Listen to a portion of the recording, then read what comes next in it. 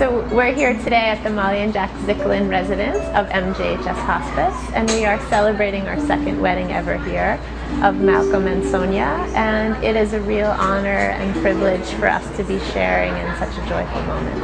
We met Malcolm uh, last November, and uh, Sonia has been here with him, and they met about six years ago, and for the last couple years, Malcolm has been asking Sonia to marry him and finally a few weeks ago they she finally agreed to marry him.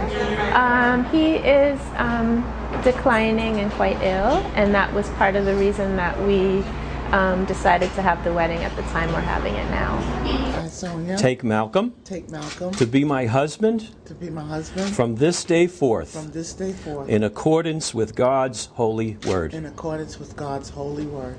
I, Malcolm, I, Malcolm, take Sonia take Sonia to be my wife to be my wife. from this day forth. I told him that he would have to fix his teeth before I could marry him.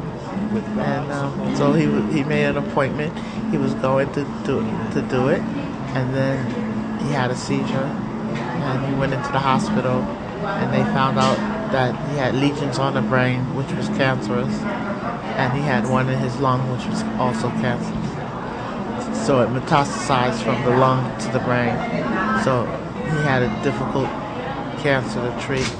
This ring IV with I think that this just makes us closer in the eyes of God, you know, so that we have a bond that no man can break.